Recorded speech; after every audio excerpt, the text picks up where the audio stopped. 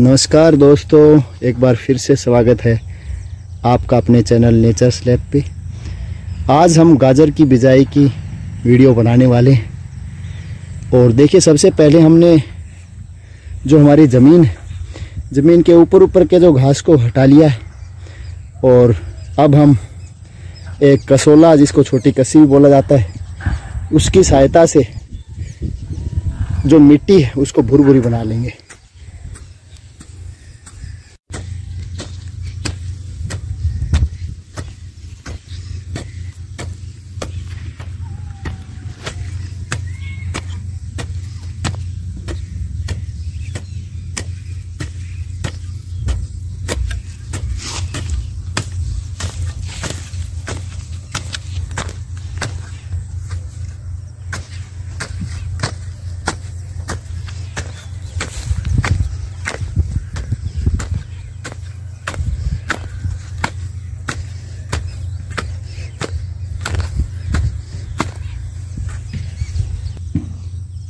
घास के जो कुछ अवशेष बच गए उनको हमें कुछ नहीं करना है, बस हल्का सा मिट्टी झड़का के और बाहर फेंक देना है।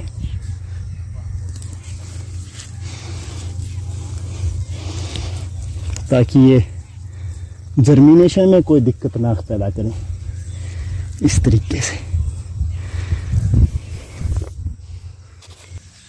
गाजर की जो लंबाई हो, ज़्यादा बने अब हमें एक रिज तैयार करनी है और रिज के ऊपर ही हम अपनी गाजर उगाएँगे।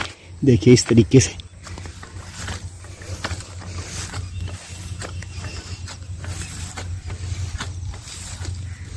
और जो भी अवशेष मिले, उनको हटा देना। देखिए अर्थ फॉर्म एक हेल्दी मिट्टी की पहचान अर्थ फॉर्म ये देखिए एक और।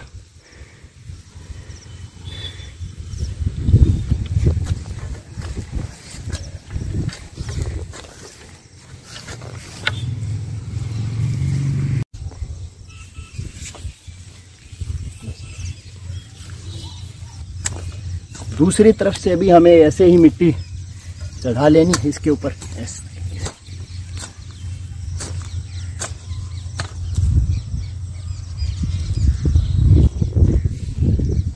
दोनों तरफ़ मिट्टी चढ़ाने के बाद हमें ऊपर से इसको इस तरीके से लेवल करना है, ताकि जो हमारी रिज बनी, उसका साइज़ मैक्सिमम हो सके।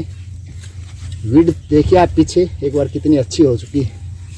करीबन करीबन डेढ़ फुट के करीब इसकी विड तैयार है। जो अवशेष आए उनको बीच में से हटा लेना है।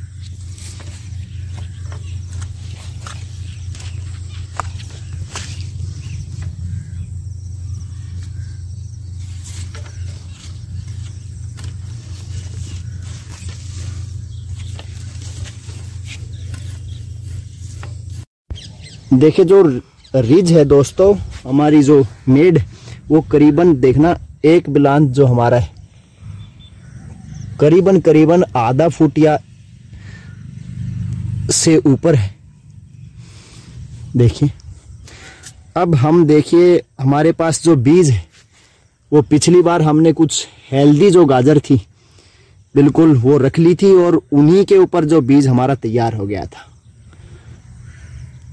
हमने गाजर के बीज को निकाला नहीं, क्योंकि जो कंजर्वेशन है बीज का, बीज की जो मेंटेनेंस है, वो अपने आप में ही बहुत अच्छी रहती है। तो करीबन हमें दो से तीन गाजर हमने रख ली थी, जो बहुत हेल्थी थी तो उनका बीज तैयार हो गया हमारे पास कर पिछले साल की जो गाजर थी, उसकी आप क्वालिटी देख सकते हैं। ये हमारे पास पिछले साल का एक फ़ोटो है गाजर का। तो इसी तरीके के गाजर के कुछ पौधे हमने रखे थे, और उन्हीं का ये बीज है। अब हमें कुछ भी नहीं करना है, बस सिंपल सा काम है। ये जो बीज का गुच्छा है, इसको अपने हाथ पे रगड़ना है। इस तरीके से, और बीज अपने आप गिरता जाएगा। देखिए दोस्तों।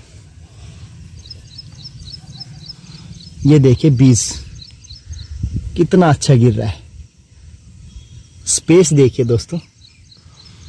जितना गाजर के बीच में थोड़ा सा स्पेस मेंटेन रहेगा, उतनी ही गाजर अच्छी बनेगी, गहराई ज़्यादा होगी। और गाजर का जो मिठास है, वो भी बहुत अच्छा होगा। तो इसी तरीके से हमें चलते जाना है। बस हाथ के ऊपर इसको रब करना है।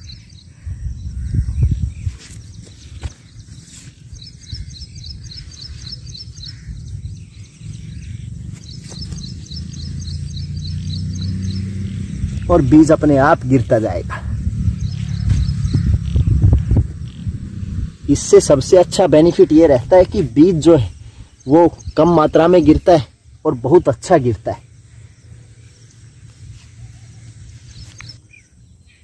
तो बीज डालने के बाद दोस्तों देखना, हमें बस हल्का सा हाथ इसके ऊपर इस तरीके से चलाना है, ताकि जो बीज है, वो थोड़ा सा मिट्टी के अंदर दब जाए। देखिए इस तरीके से।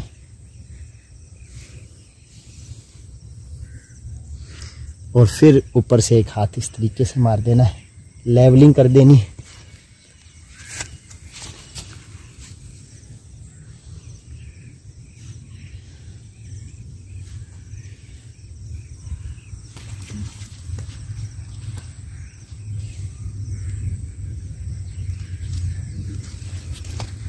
आप भी अपने घर पे गाजर के बीज को हमारी तरीके से रख सकते हैं, या फिर आप बाहर उसको निकाल के भी रख सकते हैं।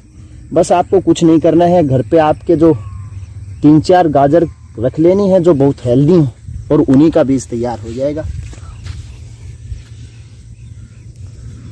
स्पेसिंग देखिए आप, क्या शानदार स्पेस से बीज गिरा हुआ है।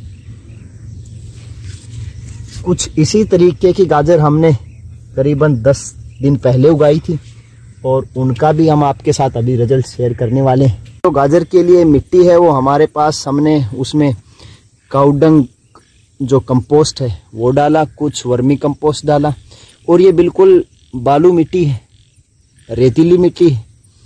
तो गाजर के लिए सबसे उपयुक्त मिट्टी यही है। और आपको कुछ ज़्यादा नहीं करना है गाजर के लिए। गाजर बहुत सिंपल तरीके से उग जाती है। बस आप बालू मिट्टी रखिए, उसके अंदर जितना कार्बन कंटेंट आप मिला सके, उतना मिला दीजिए। गाजर के लिए मिट्टी तैयार है। बारिश का मौसम है और प्रचुर मात्रा में देखना हमारे पास जो है, वो मिट्टी के अंदर नमी है। और देखिए अर्थवॉर्म बिल्कुल छोटे छोटे तैयार है। ये देखना दोस्तों। तो ये हेल्दी मिट्टी की पहचान है। ये गाजर करीबन 10 दिन पहले उगाई थी और आप गाजर का जर्मिनेशन देखिए एक बार। क्या शानदार स्पेसिंग के साथ उगी हुई है। ये देखिए, महज दस दिन की गाजर हुई है और कितनी अच्छी उगी हुई। इसी तरीके से हमने गाजर उगाई थी तो जुड़े रहिए हमारे साथ दोस्तों इसी तरीके की वीडियोस देखने के लिए। थैंक यू दोस्तों।